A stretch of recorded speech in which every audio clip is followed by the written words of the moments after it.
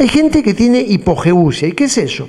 La hipogeusia es cuando pierde sabor, su lengua, la sensibilidad de las papilas gustativas. Entonces le echan bastante ají, bastante sal, ni siquiera han probado, están salando, después están hipertensos o hinchados, tanta sal por gusto le agregan, porque le falta qué? Zinc.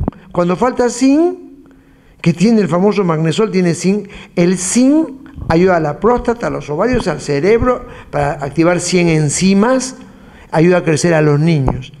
Cuando falta zinc, el adulto come mucho y el niño no quiere comer. Y se pierde sensibilidad de las papilas gustativas.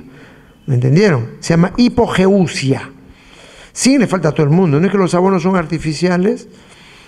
Es un mineral muy importante. Saca de los alveolos todo el plomo. Ayuda a proteger los pulmones. En la esquizofrenia están usando muchos psiquiatras. El zinc es para todo, igual que el magnesio. Es una maravilla, de verdad que sí.